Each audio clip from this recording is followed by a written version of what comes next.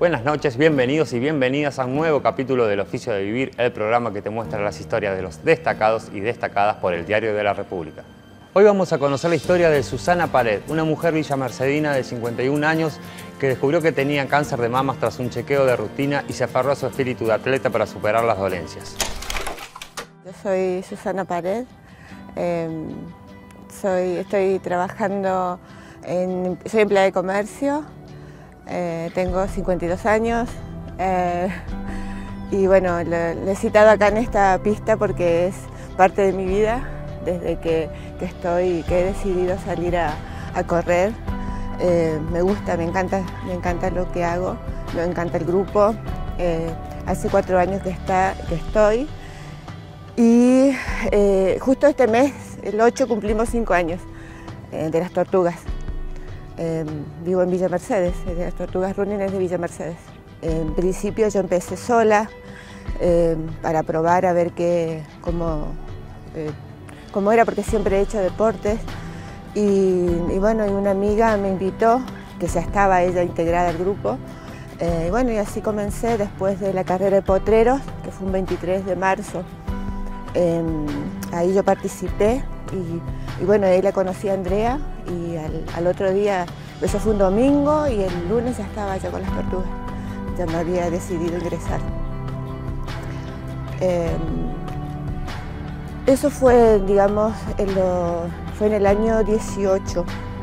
Em, lo de mi cáncer eh, que se me detectó fue por un nódulo primero, pero en realidad lo mío fue por chequeo que yo me hacía anualmente. Eh, entonces al detectarse dentro de todo lo malo eh, fue bueno porque lo pude agarrar a tiempo.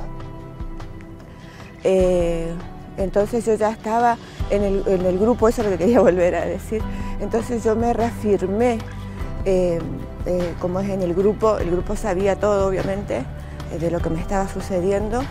entonces ellos fueron como un respaldo y un sostén sobre todo Andrea, ¿no?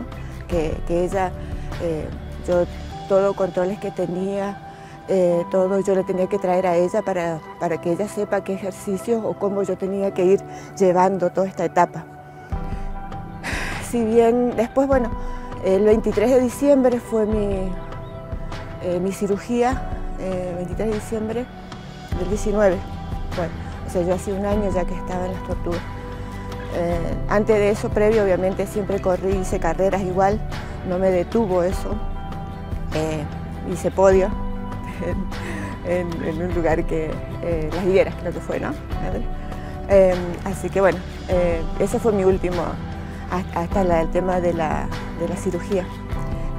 después de la cirugía, eh, siempre estuve en contacto, obviamente, siempre con el grupo, obviamente lamentando no poder hacer, pero bueno, eran las circunstancias que tenía que pasar, el tiempo eh, que tenía para recuperarme, pero, pero nunca dejé de, estar en contacto con ellos, ni ellos conmigo tampoco.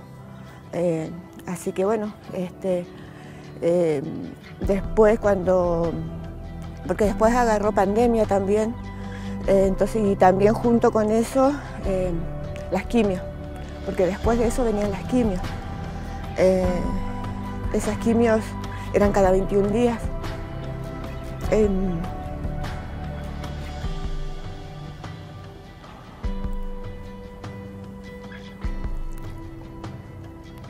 En, el, digamos, las quimios eran cada 21 días, pero yo, por ejemplo, eh, estaban cuatro o cinco horas estábamos nosotros para hacer el tema ese de la quimio. Eh, los primeros, el primer día, segundo día, uno estaba, obviamente como todos, de tira a la cama, pero eh, yo decía que eso no me iba a tirar a mí.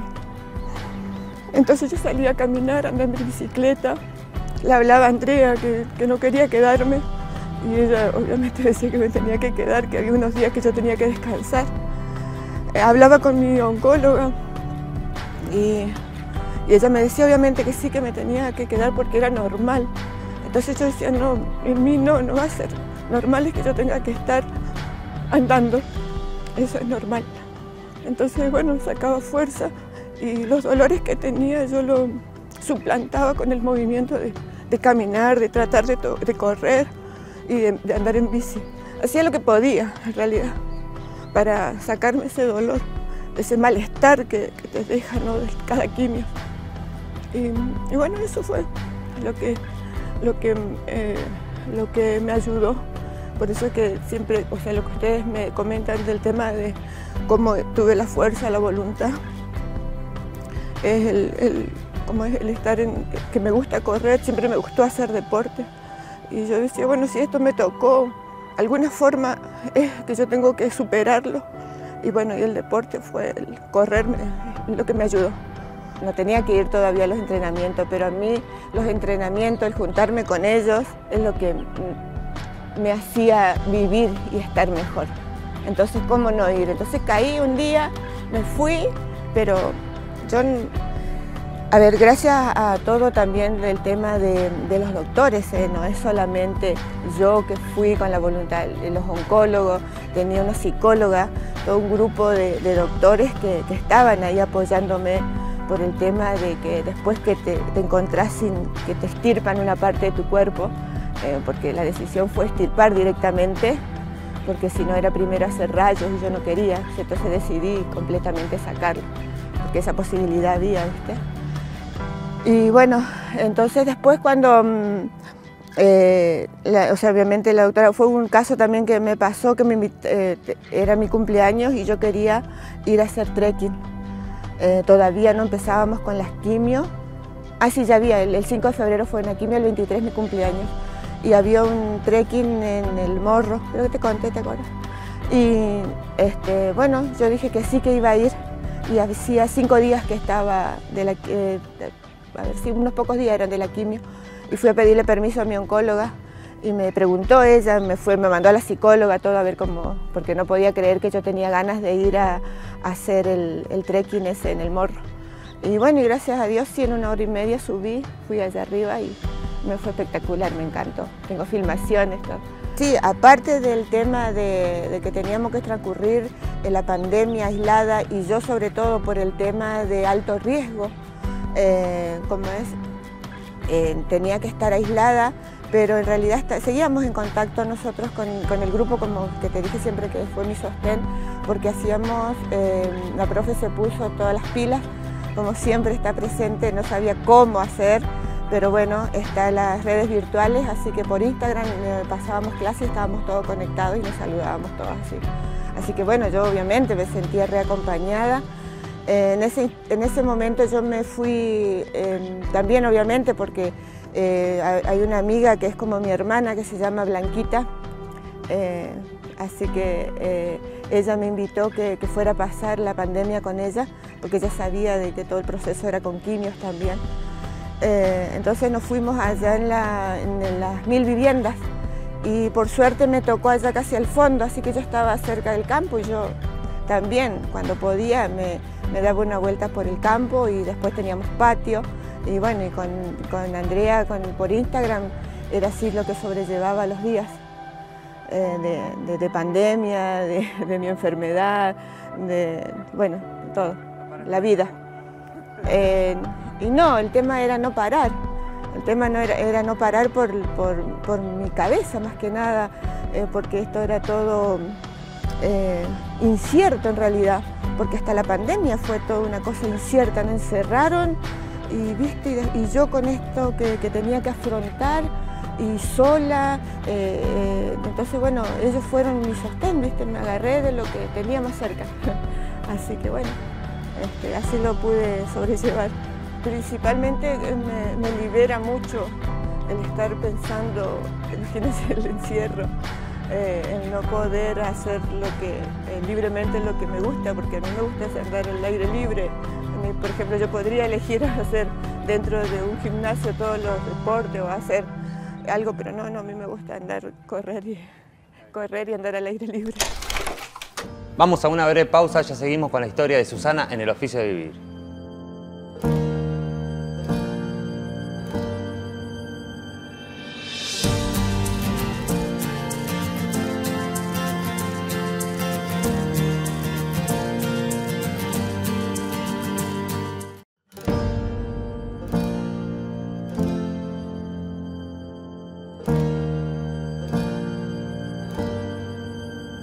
Si querés revivir la historia de Susana, al igual que el resto de los capítulos del Oficio de Vivir, lo podés hacer en todas nuestras redes oficiales del Diario de la República.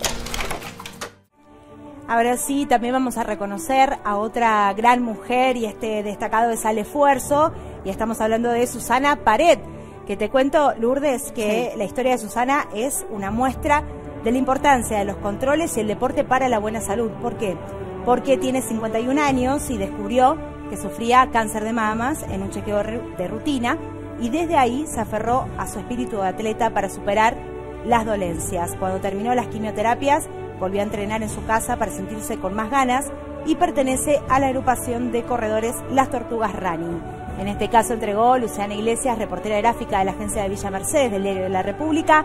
Ahí la vemos súper vital a Susana que ante la adversidad no dejó de lado el deporte y siguió poniéndole toda la dedicación y el esfuerzo. Así que este gran premio para Susana Pared más que merecido a su resiliencia y a su lucha contra el cáncer, ¿no? Y, además reivindicando el running como un ejercicio. Transformando, ¿no? Transformando también el dolor, en este caso en deporte, en vida, en salud.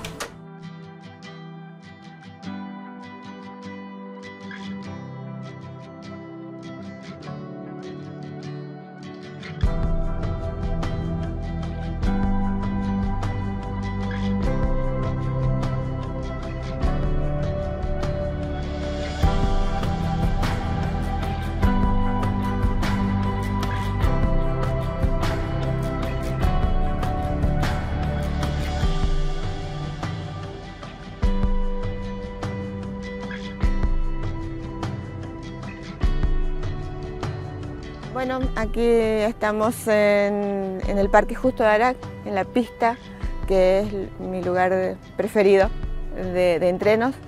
Este, entrenamos aquí mm, de lunes eh, a jueves, eh, hacemos distintas, eh, digamos, hoy por ejemplo hicimos pasadas y así, bueno, hay otros días que que hacemos funcional y bueno, así dependiendo de lo que la profe nos dice. Eh, los domingos se hace fondos, que son de más de, 10 para arriba de los kilómetros, es como para eh, bajar lo que se hace en la semana. Eh, nos estábamos preparando ahora para Mendoza, la maratón de Mendoza, presencial, porque hubo todas las virtuales, pero a mí particularmente no me gusta. A mí me gusta la adrenalina de presenciales. Así que, pero bueno, eh, ahora hay un bajón otra vez porque se suspendieron por el Delta.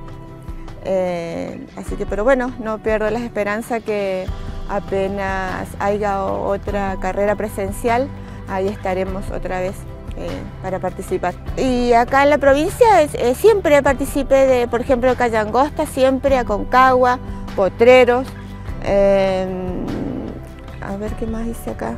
Y las que se hacen, todas las que se hacen, yo participo, Pedrera, eh, siempre, no, nunca me pierdo obviamente lo que es. Y creo que ahora viene a Concagua, nos dijeron otra vez ahora el 28, así que obviamente vamos a estar eh, ahí. Eh, y después, bueno, bueno la, que hice podio fue en las higueras, pero bueno, eso fue hace, en el 18, en el año 18. Siempre, como te dije, siempre me gustó hacer deporte, siempre hice y después, bueno, em, eh, me trajo una amiga, ¿no? como te dije hace un rato también en la nota, que me trajo, me invitó una amiga y bueno, fue el grupo que después te va llevando a, esa, a ese gustito que, que, cada vez más querés, que querés lograr el objetivo, querés ir superándote vos con los tiempos, más que nada. Eh, este, este, a mí me, encanta el grupo porque no es que nosotros competimos eh, contra, contra el que está al lado con mis compañeros o así, no, es así, es eh, competir contra uno mismo, superarse día a día. Entonces, bueno, eso fue lo que también yo por eso me aferré a pesar de, mi enfermedad a, a eso, que nosotros tenemos que superarnos día a día porque dice que normalmente la gente tiene miedo, se queda quietita, eh, está. Entonces, bueno, también ella después me invitó que fuera a hablar con, otros, con otras personas este, eh, para que como que yo le cuente mi historia para que a ver si le podía dar aliento eh, que no se sintieran tan bajoneadas. Entonces, bueno, sí, a mí me gusta hacer y por eso también ahora, bueno, estoy con ustedes. Este, sí, no, ella me decía, por ejemplo, que se encontraban en tal lado o que estaban o que yo podía ir a la casa, que yo hablara con la familia, porque en realidad la familia es la que me pide, ¿viste? Entonces como ven, y, o sea, y ella comenta, porque yo soy la corredora, digamos, era la corredora de ahí del, del hospital. Entonces, eh, porque habían, ella también, también sabía que estábamos en el grupo, le conocían a Andrea, entonces bueno, y, nada, eso. Cada tres meses tengo que hacerme los controles, eh, ahora eh, cada tres meses, y bueno, y eso va viendo la, doctora cómo va, eh, pero es como que me ve y, ya me dice que sí, está todo bien, porque ahora hice los estudios otra vez, me faltaba uno, me dice, no, espera nomás que venga, si vos estás... Sí, eso es lo que siempre ella resalta, ¿no? de, de mí, de, la, de, cómo, que parezco que yo no he pasado en eh, esta, esta, digamos, enfermedad. Si bien no la he pasado porque tengo que hacer un control durante cinco años, eh, eh, exhaustivo, digamos, cada tres meses, imagínate los controles que tengo que hacer, y son muchos, este, pero bueno, hasta acá, gracias a Dios, estamos bien, lo estamos llevando súper bien. Doble, sí, doble, todo era el doble, y sí también tenía que armarme como de paciencia porque por ahí yo quería participar obviamente eh, en, todas las actividades que, me ponía porque es como que eh, si yo, em, a ver, yo me propongo algo y un objetivo y lo quiero lograr y lo logro y más si me gusta es con pasión lo que hago, todo lo que hago lo hago con pasión. Así también lo tomé con mi enfermedad, que yo con pasión lo iba a hacer todo lo, positivo que podía sacar, de, lo negativo lo, puse todo lo positivo para, salir adelante. Eso fue lo que me ayudó muchísimo a, superar, digamos, todo esto. Eh, sí, no, que me cuide, que me cuide. Eh, sí, sí, obviamente que sí, que me decían cómo va a ser esto, mira que, no lo hacen, vos tenés que cuidarte, ya no, no, es, eh, no es la misma situación, vos estás convaleciente. Eh, lleva un tiempo de, digamos, el tema de, la cicatrización, todo eso, de, pero bueno, yo me fajaba, hacía lo necesario y, andaba, pero, pero sí, sí, respeté el tiempo mínimo que, me dijo la doc y ya, y después lo, seguí haciendo. Yo diría que, que traten de tener una vida equilibrada, eh, equilibrada en todo sentido porque desde, desde salud, que, realicen siempre deportes, eh, que se hagan principalmente los chequeos necesarios, que no dejen pasar, que se prioricen, porque a veces uno por hijo, por algo, por otro, siempre se deja. Y se tienen que priorizar, tenemos que priorizarnos. Y eso, eso nada. Entonces ahí creo que podemos evitar, eh, no solamente eh, de, de mama, sino tantas enfermedades que, dejamos por no hacer un chequeo. Porque normal hasta, los, todos los seres humanos, hasta que no tengamos un dolor o no, no vamos al, médico y después así tal vez pasa y dejamos estar y dejamos estar y, bueno, y este, lamentablemente hasta que no, no, consigamos la, cura total, o, porque hay avances, hubo muchos avances, eh, constantemente hay avances sobre el tema de, de cáncer, pero ustedes saben que esas como tantas enfermedades no está la, la cura total, digamos.